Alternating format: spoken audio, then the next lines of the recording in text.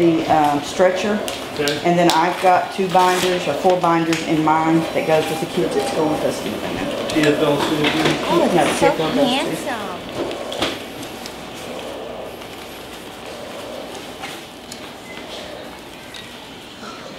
And so there's absolutely nothing we can do? I don't think that's gonna happen.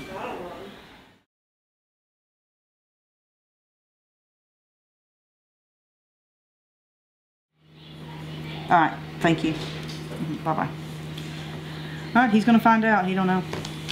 So, we could have two kids that doesn't have a ride tomorrow.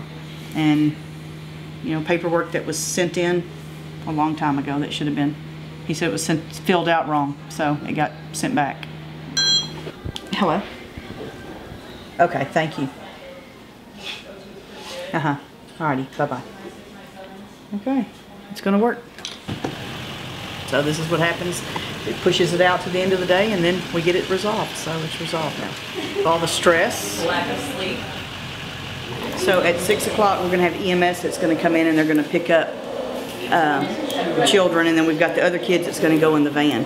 So when they come in, we gotta be organized and know what bags go on which, what folders go where, and which kid goes where.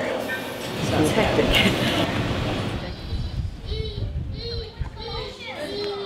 When we do this certain pulmonology appointment, all the kids go, so we have to get them all ready, and we have to be ready as the shift change. Because when shift changes, the nurses are climbing in and we're going.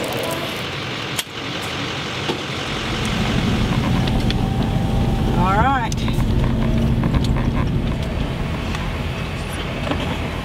It's good. Perfect. There you go, ladies. And the third. This is what keeps us going. Right here. Good, girls.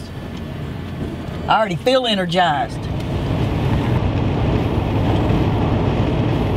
If I don't keep going, then it's them that, you know, so I gotta keep going to.